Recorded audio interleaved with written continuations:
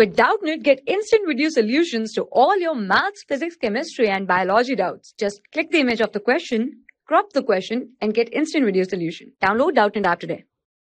Hello, in this question given a 0.1 molarity solution of monobasic acid at specific resistance of R ohm centimeter. Its molar conductivity. So in this question we have to given the specific resistance that is the R ohm centimeter and its R ohm centimeter and its molarity is the given 0.1 molarity solution. We have to find out the molar conductivity of the solution.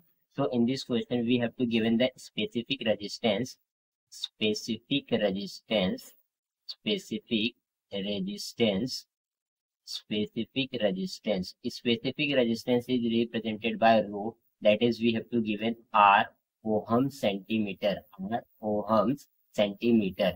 And we have to given the molarity of the solution molarity of a solution. Molarity is represented by capital M that is equals to 0.1 molarity. We have to find out the molar conductivity of the solution. So we know that the molar conductivity lambda m molar conductivity molar conductivity molar conductivity is represented by the like lambda m. Lambda m is represented the molar conductivity. Its formula is the K into 1000. K is the our conductivity.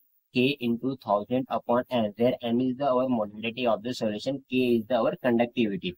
So we know that the molarity of the solution, but we don't know that the conductivity of the solution. So first we have to find out the conductivity of the solution.